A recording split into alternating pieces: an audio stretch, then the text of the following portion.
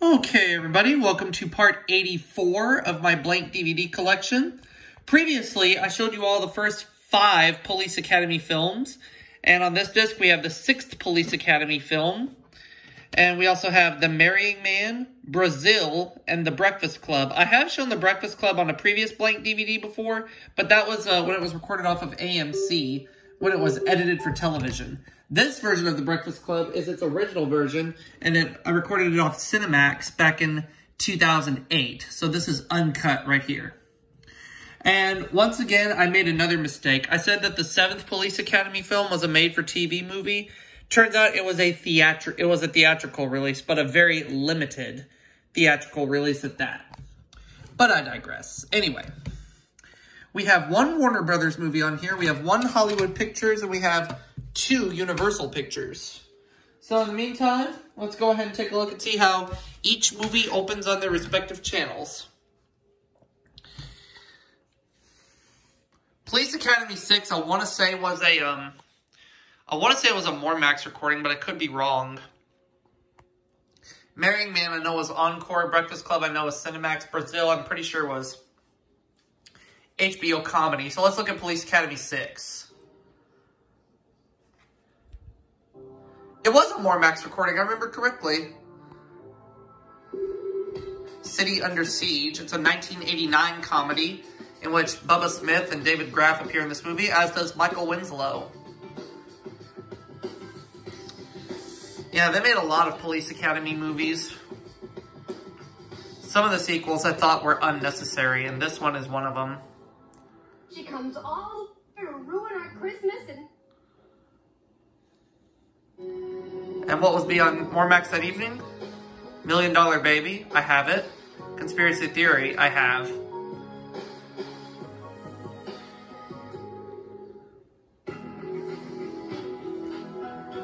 Turn the TV down. And of course, this movie is rated PG.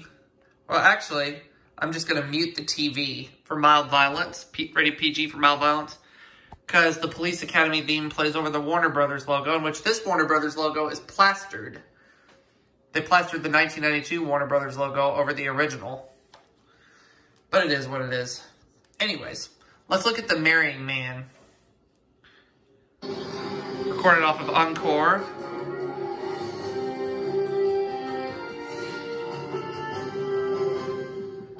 The feature is rated R. The Marrying Man is rated R, of course, for adult content, adult language, and violence. And one interesting thing about The Marrying Man is the same person who directed The Brave Little Toaster four years earlier, Jerry Rees, directed this film.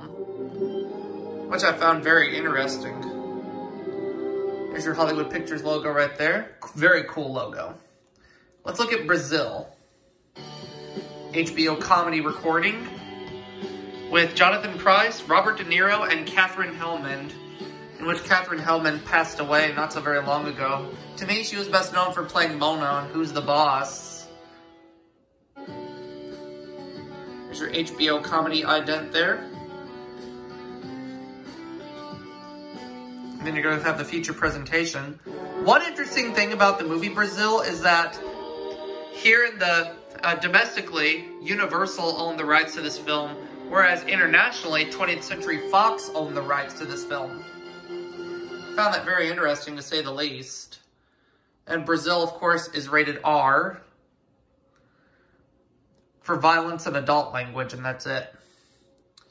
And then here comes the Universal Pictures logo. So Universal owned the film, owned the domestic rights, whereas 20th Century Fox owned the international rights to this film. I found that very interesting, to say the least. All right, let's look at The Breakfast Club. Bland Cinemax titles there. Bland Cinemax graphics, I mean. Emilio Estevez, Anthony Michael Hall, and Judd Nelson are in this film. Oh, this is a five-star Max recording. Okay. The Breakfast Club, American Beauty, and The Devil Wears Prada. I only have The Breakfast Club, and that's it. So this is a five-star Max recording. My bad. And The Breakfast Club is rated R. Yeah, your bland, bland graphics.